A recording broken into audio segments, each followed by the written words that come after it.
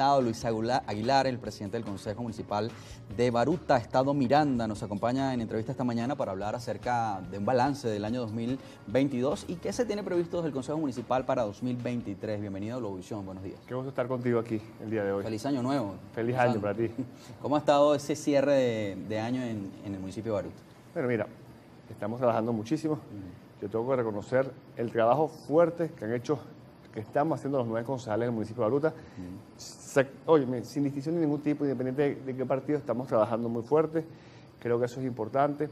Este, estamos avanzando mucho en el tema de ordenanzas. El Consejo Municipal ha sido un Consejo Municipal de puertas abiertas, y con eso quiero empezar. Los vecinos se han sentido apoyados en el Consejo Municipal de Baruta. Los vecinos han avanzado en saber que hay unos concejales que están trabajando para ellos. O sea, que no es una política ni un eslogan. Cuando tú vas al Consejo Municipal de Baruta, que a un vecino a pedir un derecho de palabra, inmediatamente se le da. Cuando un vecino pone un caso, inmediatamente se hace seguimiento al caso. Recordemos que el Consejo Municipal es un órgano legislativo, o sea, no es ejecutivo, pero igualito se hacen las peticiones a los órganos correspondientes. Y es justamente eso, trabajar mancomunadamente. Nosotros tenemos este cierre de año, terminamos con 13 ordenanzas municipales eh, aprobadas. Entre las más relevantes tuvimos la ordenanza de ruidos molestos, la ordenanza de control y fiscalización de obras ilegales, ¿okay?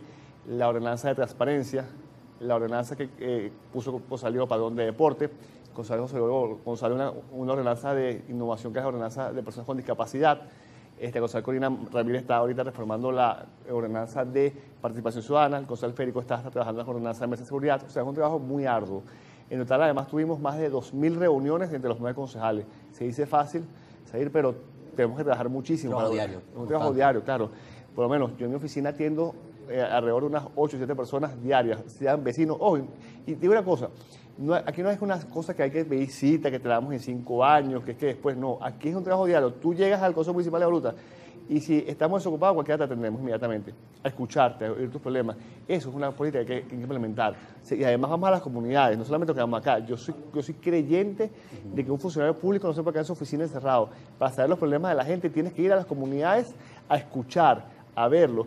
Y ojo, y ahí con la verdad, hay cosas que tú puedes hacer, hay cosas que tú no puedes hacer. Decirles, orientarlos en los caminos. Si te reportan un caso, hacerle seguimiento al caso. Y después informar al vecino. A través de los grupos vecinales que yo manejo, yo manejo alrededor de 277 grupos vecinales, estamos en constante eh, permanencia. A esta hora, por lo menos, me reportan que la avenida Santa Ana del Cafetal está sin luz, por ejemplo.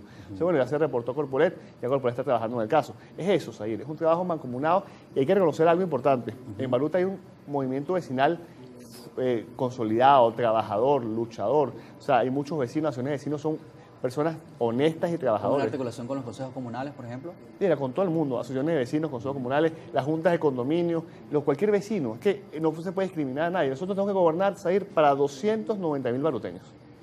No es poca cosa. ¿no? es poca cosa. Ahora, ¿cuáles son las principales necesidades de la gente en ese contacto cercano que está exigiendo el baruteño? Mira, el, hoy en día uno de los principales problemas de Baruta es el tema del agua no es competencia nuestra ni en la alcaldía, pero hemos hecho un trabajo de enlace con el capital. Y yo, yo, eso soy sincero.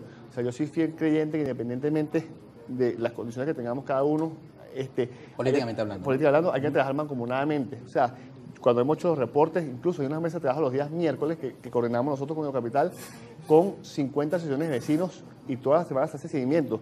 Obviamente hay que mejorar muchísimas cosas, sí hay que mejorar. Por ejemplo, la zona del Tuyo Sur. Hay buena comunicación. Hay buena comunicación. La articulación. sí, sí, la zona del Tuyo Sur, por ejemplo, la zona más alta del municipio de Baruta, las minas, Guaycay, la parte alta de las minas, obviamente Anacoco, calle Federación, terraza de Santinés, Los Amanes, este, terraza de Club parte alta, Lomas de Club Charallarito, todas esas zonas, son zonas muy afectadas. Santa Paula, si me voy a, lo que es Tui 3, la estación El Clavito, que es Manzanares, lo más probable es el Toprado. Eso se está reportando constantemente.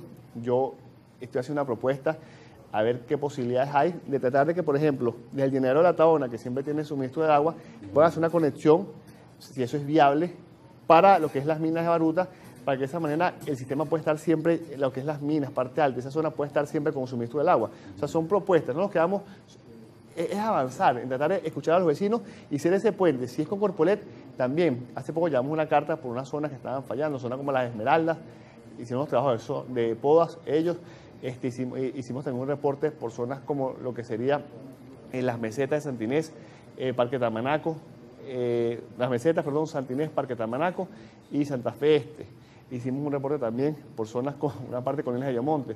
O sea, hemos hecho reportes de todas las zonas que han sido afectadas, terraza de Cluípico. Entonces, lo importante es eso, yo creo que cuando tú estás en la calle escuchando los problemas, no se te puede escapar nada. Y te insisto, nadie es perfecto, nos podemos equivocar muchas veces, pero lo importante es tratar siempre de avanzar y corregir nuestras cosas. ¿Cómo es la articulación con el alcalde? Mira, nosotros con el alcalde, que tenemos un trabajo de respeto, yo siempre lo he dicho, yo vengo de trabajar en la gestión del alcalde Arturo González, yo fui su director general de la alcaldía, independientemente que nos hayamos separado de partidos políticos, yo creo que debe existir el respeto. Hay que avanzar en el trabajo, porque además el trabajo que puede hacer la alcaldía y el Consejo Municipal no nos beneficia a nosotros, te beneficia a los baruteños. Entonces, si podemos trabajar articuladamente con ellos, sería perfecto. Obviamente nosotros tenemos eh, muchas solicitudes que hacemos a diario en la alcaldía, este, incluso hemos llamado a directores a la Cámara, hemos citado a la Cámara para que puedan también escuchar a los baruteños.